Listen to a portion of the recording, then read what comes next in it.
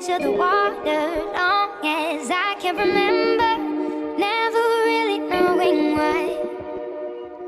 I wish I could be the perfect daughter